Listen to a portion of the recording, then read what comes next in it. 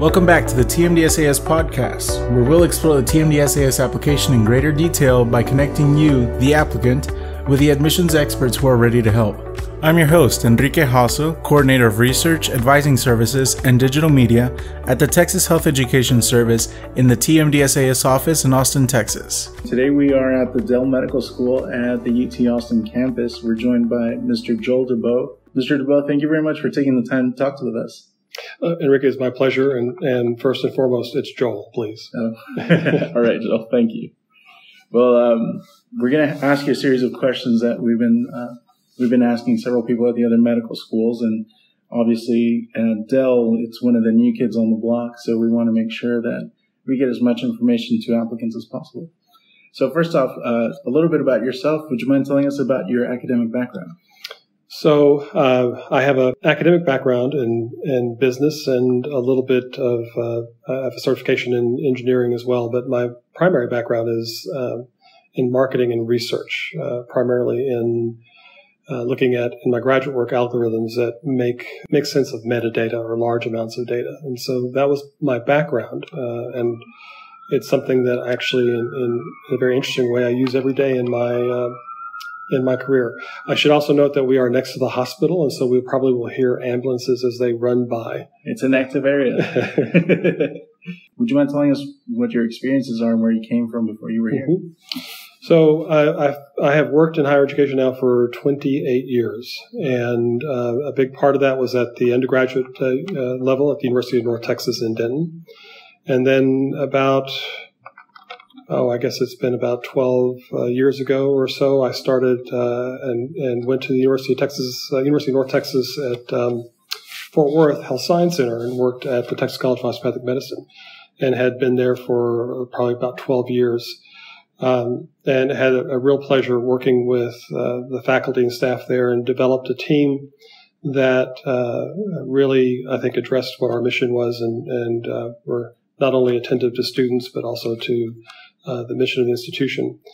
And so I, uh, after, after having the pleasure of doing that and, and really thinking about what I wanted to do next, uh, and not necessarily thinking about Dell Medical School um, in a, an interesting serendipitous way. It's how things happen. Mm-hmm. Was having a conversation with somebody who was just recently um, hired by Dell Medical School and talking about process and what we had been able to accomplish uh, with our process management system. And in the course of that conversation, um, talked about um, what you know what were the needs and what would be the needs of a new medical school, and then uh, after that got a got a query about coming down and visiting, and so I came down to visit and learn more about what was happening down here. I had heard a lot about what was in the press, but not really uh, didn't really get a good sense of what truly the mission of Dell Medical School was. And after that that visit and that opportunity. Uh, I, I really became enamored with this idea of starting something from scratch that's that is really intended to and is intending to uh, tackle some of the major problems that, that I've faced and have seen in healthcare and um, in, unique and novel ways and, and, ways that I think are actually going to be sustainable as well. So that really attracted me to the mission of Dell, and I felt like I had gotten my uh, other office to a point where it was um, well staffed and, and, a good position for me to transition. And so I took the opportunity. Of course. And uh, everybody always speaks volumes to how great Austin is. Well, I, I, certainly didn't move down here for the affordable housing or the or the clear thoroughfares. Uh, uh, you know, Austin really wasn't my destination place. Mm-hmm. Um, uh, we really really loved Fort Worth a great deal. Um, however, the opportunity to to work with uh, with Dell Medical School was just too great. And so we are learning to love Austin, uh, which we are every day. Um, uh, learning more and more about the city and about the community. Mm. Uh, Austin is a unique community, and we'll probably talk more about this in a little bit, but it, it is actually probably the only community in Texas in which this kind of experiment could really work uh, for a lot of reasons, and not necessarily for the best reasons. Um, Austin is the most economically uh, segregated community of, of, its size in, in the United States. And so there are some unique challenges this community faces. Um, and so Austin presents a lot of opportunities. Mm-hmm. Uh, so it's, it's, it's also a lot of uh, fun because it's a very vibrant community, but there are also a lot of opportunities for change. Well, that's a great segue into uh, learning a little bit about what makes this institution so unique. Uh, I know there there are a lot of a lot of different moving parts that came into play at just the right time to establish this medical school. So, uh, could you tell us how those contributed to what makes Dell Medical School so unique? So, I think you first have to know a little bit about how um, and why Dell Medical School was created. Um, the first thing you have to go back quite a bit into our Texas history to know that constitutionally, um, the medical school was designated as being located at Galveston, and that the undergraduate institution was designated to, to be in Austin. And so we really didn't uh, have a mechanism for creating a medical school in Austin for many years because it really was viewed as uh, the services provided by um, the other health science centers. But as everybody knows, Austin grew dramatically in the last 20 years. And so it became obvious that this community was the, the largest community of its size without a, without a health science center or without a medical school. And a medical school brings a great deal to a community, both in research and in, in clinical care, as well as an incubator for ideas and economic development. And so the community recognized that there was really a need to have a medical school in Austin. And so through a complex series of activities involving um, Senator Kirk Watson and other leaders of this community, uh, there was a proposition to uh, raise taxes in Austin to help pay for the medical school. And I think it's a really important point because it makes Austin, the city of Austin and the county of Travis, our primary mission. It is interwoven into our DNA in a way that affects every decision that we make. Uh, the community here has an expectation that we are going to improve the health care for this community. In fact, I think we will, uh, in, in, our effort and our mission, will actually become an example for the rest of the nation of how to develop and implement solutions for a model healthy city. But it means also that we are accountable in a way that most medical centers are not. And I think that's very refreshing. It, it's challenging, but I think the fact that we have to account for what we're doing every day makes us very diligent uh, and, and good stewards of uh, the resources that we have. And we do need to demonstrate that we can affect change in this community the way we think we can. And so that means that, that there's a lot of activity always happening here. Mm-hmm. Um, so we've also attracted, as a result of this partnership, a lot of talent from across the country. We have national and actually international experts in many areas who are, who are very attracted to, to the idea of changing healthcare as we know it. And that's really what our mission has become is to rethink how we deliver care. We believe that there are some fundamental problems with the healthcare delivery system in the United States. One that its costs uh, are are going up and the quality or value is going down. And so when we start talking about value in healthcare, we're talking about the benefit to the patient as a ratio to the cost to the patient and to society. And how do you generate great value? Um, so we have a lot of people who've been attracted to Dell Medical School uh, for that reason, and so that's also been terribly exciting to to to you know, bump into people in meetings who I've read about in articles um, or have seen their books in publication. Um, so the, the first thing is to think about how the school was started, and then secondly, its mission, which is to make Austin a model healthy city, and also to do that through developing the future physician leaders who are going to make those changes. And so we looked at medical education and said, we don't have any institutional history to change, which is a, is really a blessing because yes. it's like changing the direction of a battleship. It's not something that turns overnight. overnight. Mm-hmm. Uh, so having no direction that's already been established, it gave us an opportunity to kind of wipe the slate clean and think about how we train uh, future physician leaders. And uh, if you take the time to look at the literature about um, after Flexner, the, the AAMC report about rethinking uh, model for education, which we've all become familiar with over the last hundred years, which is two years of didactic education and two years of apprenticeship education or, or mentorship or, or, clerkship. And to really say, is that is that truly developing the next uh, generation physician? So we looked at our curriculum and we and we said, let's rethink how we train these future physicians, and that's probably from a student's perspective the most novel aspect about Dell Medical School. So the first thing that you'll notice is that instead of two years of uh, basic science instruction, we have a 12 month basic science instruction. It's an accelerated curriculum, And it's a curriculum that's not just compressed, but it's taught in a more of an adult learning manner. So it is taught in what's called a flipped classroom. And the flipped classroom is all about knowledge application. Uh, it's the next level of maturation in education and development uh, from knowledge acquisition. And most of our students out there already are very good at knowledge acquisition. You, have done that and you've demonstrated the ability to do so in your undergraduate classes.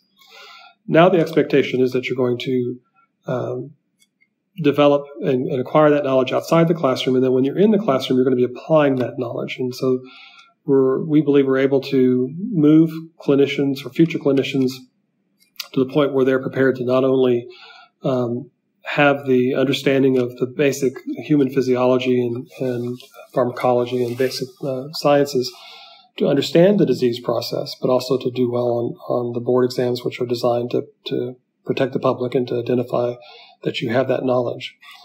Um, but we think we can do it in a way that creates physicians who are critical thinkers early on, as opposed to them developing those skills later in clerkship and in residency.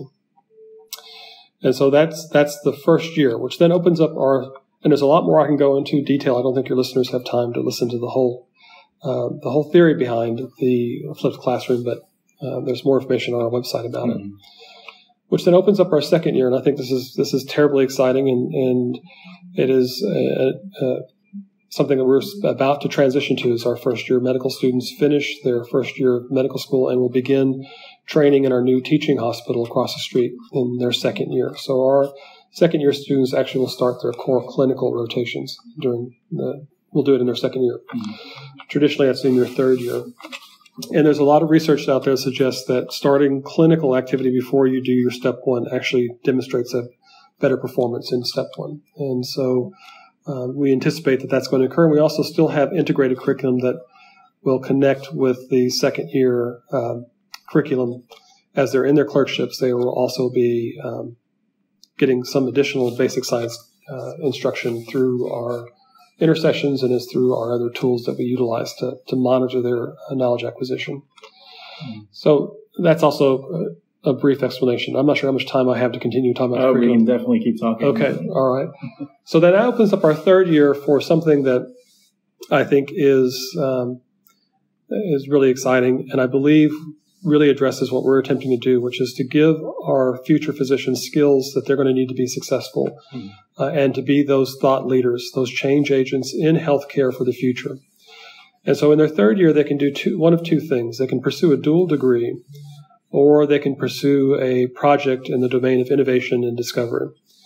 So the first, the dual degree. So we're we're UT Austin, and we have, uh, as part of this family of, of uh, programs and schools, a lot of uh, exceptional programs in which our students can pursue a dual degree in.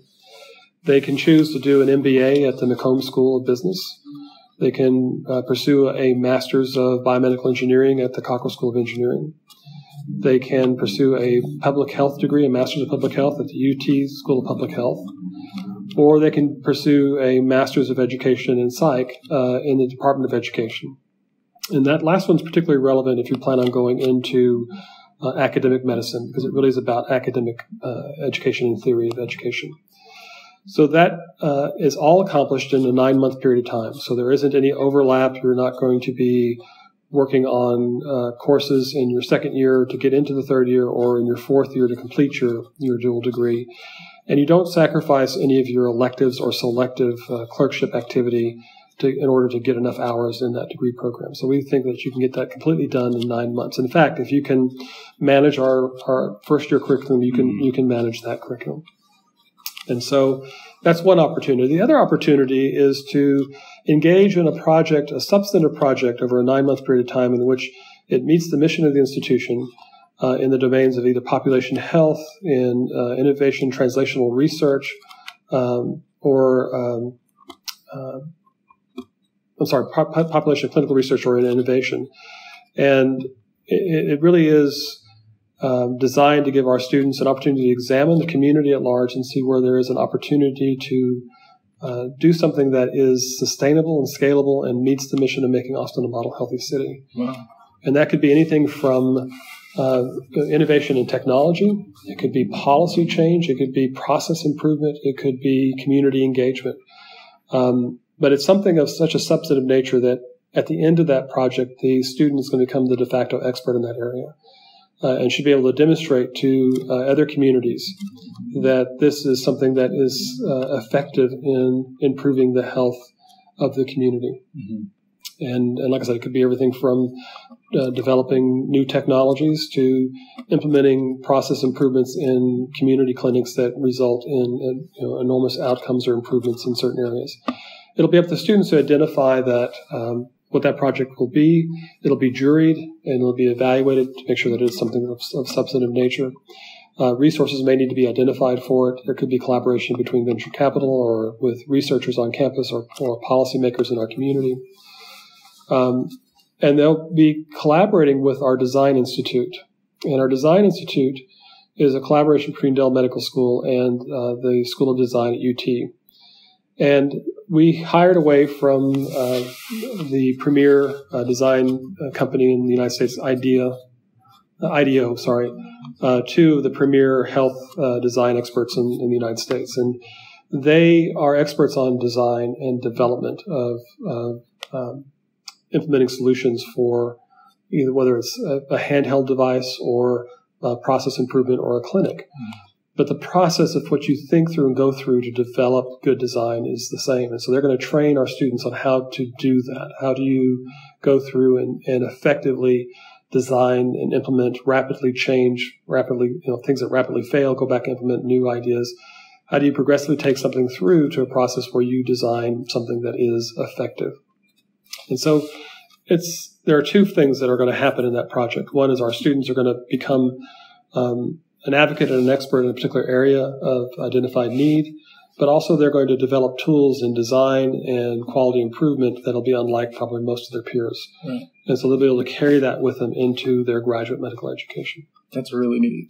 Uh, I think too that that uh, our students will identify graduate medical education programs that have a focus in the area that they're interested in. Mm-hmm. So yes, it might be internal medicine, but an internal medicine program in an urban community that might be developing an ACE unit for, for geriatric care, for instance. And so they'll, they'll be looking for those kinds of opportunities that really fit into the, what their passions are about.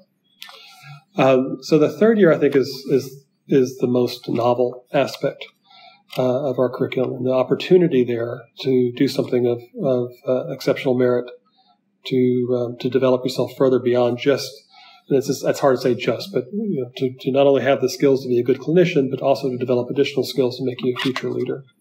The first class coming into that curriculum won't happen until fall 2018. Is that right? So, well, so yes. So, so they on fall 2017 are starting their uh, their clerkships, but during that period of time, uh, they will be engaging the community to identify needs and looking at different opportunities as they develop their ideas. So mm-hmm. when they start their third year, that idea should already be pretty fleshed out. Mm-hmm. And so they are, are, will begin that discovery process. Some have already dis- started that discovery process now, uh, but they will begin that discovery process as they move into through their second year. And part of that, something I didn't get a chance to mention, is the primary care clerkship that they will do uh, in their second and third year is a continuity clinic in which they're in the entire year. And it's a, it's a community care clinic. They're at the same clinic, same patient panel. So they're seeing not only how to diagnose in that acute visit, but also how to manage the care follow up and see that patient progress. These clinics are also often parts of the community that are underserved, and so they'll also be able to see a great deal of disparity in this process. Then when they move into their second semester of their second year, they'll also start to go out and visit with community organizations in that day that they're scheduled for clinic to see what other needs are available. So they'll start to see opportunities and what really fits into what they're interested in pursuing. Mm-hmm. Now, if you're doing a dual degree, you still can be engaged in a project. It just won't be to the same level as somebody who's in the project. So you may be tasked as a team member if you're an MBA student to help develop a, a business plan. Mm-hmm. And that'll, that'll, feed into your capstone project as the MBA program, but will also help support a team who's putting together a relatively large project. Yeah. Um, then fourth year is pretty typical. That's uh, that's really more about discovery, going out and doing away rotations, mm-hmm. uh, applying for residencies, and uh, it, that's where we begin to interface with the ACGME programs, and so that looks, looks a little more traditional. Mm-hmm. All right. Well, that's really great to hear how all of the different aspects that came together to establish Dell really fed into the school's mission and how effectively the curriculum will in turn connect that mission to actual application in the community and, and to all of the students. Since you've sold the school so well at this point, uh, can you get, uh, can you give us a little bit of feedback on what applicants can do to stand out uh, in the eyes of the admissions committee for Dell? So uh, I think you hit on a couple of key things in your, in your last comment about mission. Everything is really driven based on the mission. And if you have the mission in mind, then everything else kind of falls into place. What we're truly trying to identify are individuals who already have this passion, motivation, these skills that we're going to build upon. Mm. And so it is very much um, in the same vein as we look at academic preparation, and we're going to build upon that. We also look at uh, development in the domains of innovation, leadership, and community engagement, because we will build upon that as well. So um, it, it is really the selection process as we look at an application is really driven by that that concept, the idea of a mission approach towards selection. So when we consider a candidate, we, we break them up into two, two major domains, the cognitive and non-cognitive domain. It's, that's not unfamiliar probably to most of your candidates. But mm-hmm. one, because we are an accelerated curriculum, there is an expectation of a certain amount of competency in the basic sciences before you start, because we do not have the opportunity really to, to bring somebody up to speed if they have not yet acquired that knowledge that they need to have to be successful. Mm-hmm. So the best indication of future success or future future performance is really past performance. And so we look at the entirety of the applicant's record academically. We look at trends. We look for upward trends. We look for graduate work. We look at um, rigor. We look at obligations. Uh, somebody who is obligated to play sports doesn't have necessarily enough time, a lot of time to do other things. How did they do in that context? Or if they're having to care for a family, how they do in that context. But again, trying to identify the candidates that we believe will be successful in our curriculum. So that's one one domain, one bucket. If you draw a big circle and put everybody in that circle uh, who can can meet the academic rigor. Mm-hmm. You draw an overlapping circle on that, and that is the non-cognitive or mission side, and that really is looking at people who have, have had exceptional activity in the areas of innovation, leadership, and community engagement, and try to see what they've done throughout their their undergraduate experience or post undergraduate experience that really speaks to those elements, something that they've been passionate about, something that is that's substantive. Um, one of the things that I, I try to advise pre-meds about is that it's not the number of activities that you're involved in, mm-hmm. uh, because sometimes it looks a little bit like a laundry list of things that you've done. Yeah. Uh, one hour here, two hours here, three hours there, and, and in the hopes that in the aggregate, that's how much community service or leadership you're looking for. It could be one singular activity, but it's such such a substantive nature that it's very meaningful. So it's about what did you do? What was your passion? So where those two circles overlap, that is really the spot that we're looking for. Mm-hmm. So there are candidates with a 99 percentile MCAT and a 4.0 GPA who don't fit into that category, who we would not necessarily feel would be a good mission fit. There are other candidates who spent the last four years, for example, in the Peace Corps, uh, drilling wells for communities that didn't have fresh water. Excellent mission fit, but they have not uh, demonstrated competency in the basic sciences, and they wouldn't fit in that domain as well. So it's really striking a balance of, of the people who have identified strengths in the areas that we're going to build upon, mm-hmm. both in the academic domain and in our mission domain. Great. I think that's really great insight for a lot of our applicants and uh, a lot of the advisors that listen in. Thank you very much for sharing that. So now uh, we're going to head into our fun question. Oh, okay. uh, it's it's our MythBusters question where uh, we give you the opportunity to think of a common myth that you hear and get to flip it and provide the correct advice. Mm-hmm. So, uh, can you tell us what your favorite myth is and what the correct advice is? Oh, there are so many. Um, Can I tackle two of them? Yes, you can. So let me start with um, the the first one is that we don't read the letters of recommendation. Uh, I, I, that is solely false, uh, uh, wholly false, I should say. It's, it is it is a um, something that we dig into and read every single line in all the applications, including the letters of recommendation. And part of it is what does the person say about you and how uh, well do they know you? But also, the other part of the evaluation is how did you decide who was going to write your letters for you? Mm-hmm. And did you put much thought into it? Sometimes individuals will say, Well, I made an A in that class. So therefore, this person can write a great letter for me. And, and the letter reads something to this extent. It says, uh, student X was in my class. They made an A, so they must be a very good student. Now, let me spend the next three paragraphs telling you about what I do and what kind of research I do. Yeah. It really is not very insightful whatsoever into the student. Uh, but another letter from somebody who maybe made a B in a class, but the faculty member talks about how the student failed the first test and, and recognized the weakness and came to them and worked with them every day and had an intellectual curiosity that really was about understanding the material and strive to, to learn the material and did, even though the, they improved, they weren't able to get over a B because of the first test. But it really spoke to somebody about about somebody's resilience and, and their intellectual curiosity. Mm.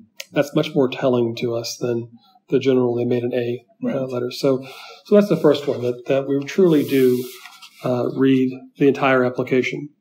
Um, and and in addition to that, uh, please make sure that that your essays are not only accurately are, are answering the question, but that they are grammatically correct. Yes. Uh, that you did take the time to, to proofread it or have somebody else proofread it, to make sure that edits that you had made or thought you made are really there. Uh, it's difficult to argue that, that I truly want to join this profession when you didn't take enough time to really fill out the application well. And that includes looking at how many hours you spent on, on projects or describing what you did or even using the optional essay to tell more about your story. Mm-hmm. Uh, failure to do that really suggests a, a lack of, of um, a lack of, of thoroughness, to, to, to, put it quite bluntly, putting the, the, effort into the application, the most important application you're ever going to fill out. So that's one myth. The second myth um, I don't know who Lizzie M is, uh, but I don't care what score she has. Mm-hmm. And uh, and please quit trying to figure out what our Lizzie M score is because there's no such thing. I don't. There's this idea somewhere that there's this formula. Uh, there is for us no formula. Um, there, it really is about the content of the application. It's about a holistic review. Uh, it is about uh, trend information. It's about uh, accomplishments. It's about mission fit. Mm-hmm. We get uh, close to 5,000 applications a year, and we have 350 spots to select for interview. What we're trying to do in that process is, on balance, find those individuals who we think would best fit the mission of Dell Medical School on the interview day, we further discern you know, who really, uh, through their essay, through their essays and their application, uh, can express why they think that they're a good fit for us and, and how their the mission of Dell Medical School fits what they desire to do. But they also are looking at us to see if this is a place they want to go to school as well. Right. And so that's not always the best fit for everybody, and they recognize that. So that's that's really what the interview day is for. Mm-hmm. Um, so that's what we're trying to discern in our evaluation as we read the entire application is uh, does the person have the capacity to do well in our accelerate uh, curriculum and meeting that threshold, the ability to, to do the work, then are they a good fit as far as what we're attempting to do in our mission at Dell Medical School? Wonderful. I think those are some really great myths that you just tackled. And um, something that's been really incredible on my end is, you know, we've asked that question of everybody we've talked to I've yet to hear a uh, repeated myth. Oh, so that tells you something about how many myths there are out there. well, can I can I make one recommendation if, if people are continuing to listen and, and we haven't lost them yet? Uh, you know, please don't be afraid to call the admissions office if you have a question. Mm-hmm. Uh, I think it's much better for you to get the information. Now, there are not always uh, we are not always able to answer your question based on procedure uh, or where we are in the process. But we will tell you that, that this is where uh, you are in the process. And we can't answer that part of the question, but we certainly will answer questions that we can to make sure you have the correct information. Uh, I think that, that that is much wiser to proceed on than on rumor or on speculation. Now, having said that, you don't want to uh, keep calling admissions offices with the same question and demonstrating that you have not yet picked up on what the answer is. Mm-hmm. I'm not espousing that, but I think that uh, you certainly want to get the information um, correct, uh, get the correct information. And I, I, can tell you that every admissions office in the state wants to answer those questions for you uh, so that you are working with the correct information. Right.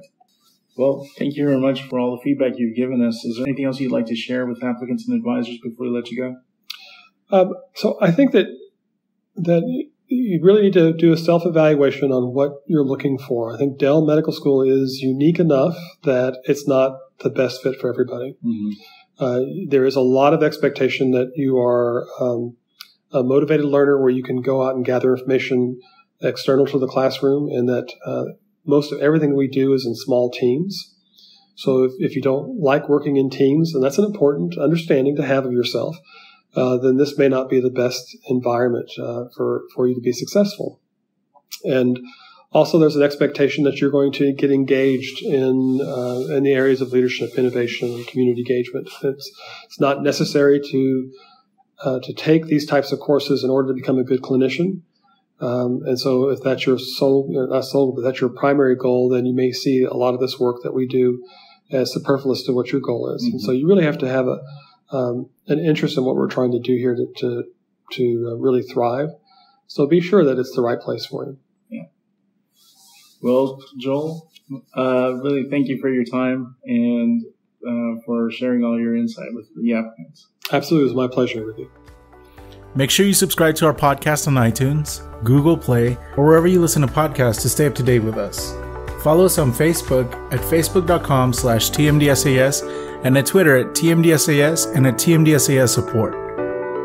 On behalf of TMDSAS, we want to wish all our applicants for the 2018 cycle all the best of luck. Thank you very much for listening. We'll talk to you later.